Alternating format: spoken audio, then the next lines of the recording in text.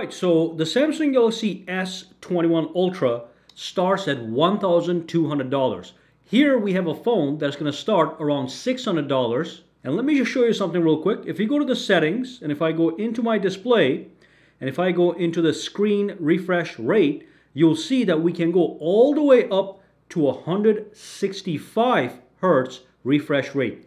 That is crazy. And of course, I can switch between 60 hertz, 90 hertz, 120 hertz, and 165. And on the top corner, you'll see it's going to reflect the current refresh rate next to that clock. All right. And of course, the crazy thing is the phone is going to start around $600. So let's dive in, unbox it, look at its features and specs, and see if it is a better buy than the S21 Ultra.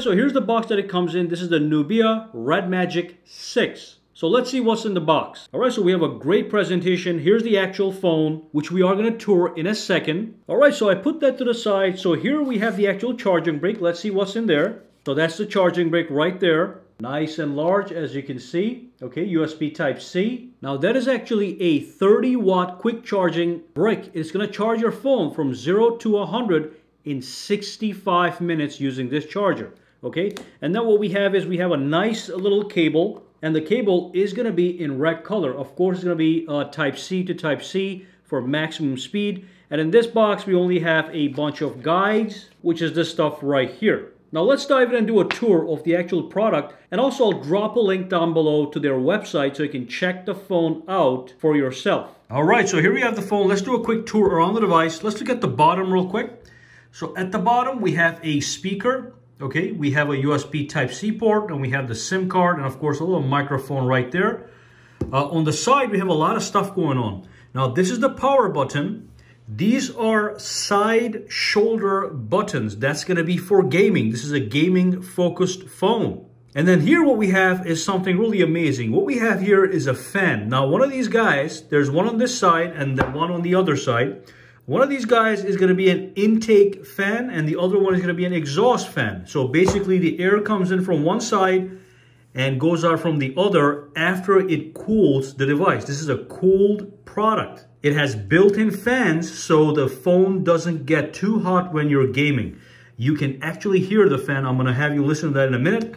Now here we have a red button. This is a dedicated gaming button. When you uh, switch this on, it actually does some crazy stuff. I'm going to show that to you in a second as well. And then over here, we have the volume rocker, volume up and volume down. And then if you look at the top, nothing here except for a headphone jack. So that's great again for gamers. And of course, we have a little microphone. Okay, we do have another speaker on the top here in the earpiece. So it does have dual stereo speakers, which is great.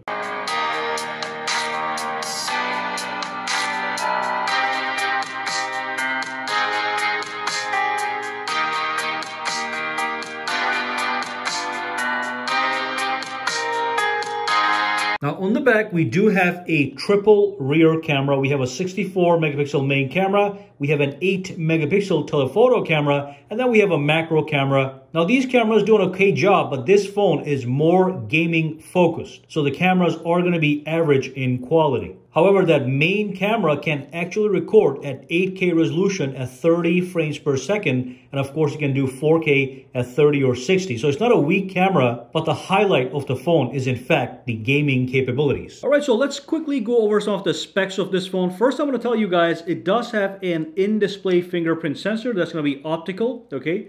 So when I press and hold, it just unlocks it. It is super fast. Now the screen itself is a 6.8 inch display. This is a full high definition plus display up to a 165 hertz refresh rate. And of course, it's an AMOLED display. Now, when it comes to processing, this is top of the line. You have Snapdragon 888 processor, 12 gigabytes of RAM, 128 gigabytes of internal UFS 3.1 storage. So the phone is no joke, it performs like any flagship. Now I did talk about this red button on the side right here. So basically when you flip this button, uh, it simply transforms the phone into a mini smartphone gaming console. Let me show you what I'm talking about. So I'm gonna flip the button right now. Okay, so everything just flipped over. We have a nice little animation, and we are dropped into our gaming zone. Now, the best part with this is all the games are going to appear right here. You can see Call of Duty, you can see uh, Asphalt 9, but the thing is, over here you can see a button that says Turbo Fan. I can click on this one, and it actually turns on and off the fan I talked about in the beginning of the video that gives you an intake, cools the phone down, and then the exhaust, which is the hot air that blows out of the phone. So you can turn on and off the fan right from here. One more thing you can do is you can pull it in from the side and you have access to this control panel. You can change the brightness, change the refresh rate right from here, as you can see, okay? And you can do a bunch of other things like accessing some of your applications. And I can swipe over and I have access to even more settings. I can record gameplay, okay? I can enable certain other features. So there's a dedicated gaming space sitting right here. So let's just pull up a game right here. I'm gonna launch this game right here. So it launches the game. Let's X this out. I'm just gonna show you guys how fast the whole gaming is. So right now I don't have the fan enabled. So what I can do is I can go back over here and I can simply tap on this button, turbo fan, and that's gonna actually uh, start the fan. Now the phone is being cooled. Let's click on play here. Okay, real quick. One of the biggest features of this whole thing is uh, gaming of this phone, Red Magic 6, 6 is in fact gaming. I can actually hear the fan blowing in and blowing out, all right? So it's a, it's a powerful fan that's going to keep the device nice and cool. Look at the graphics, perfect, okay? So let's see what we can do.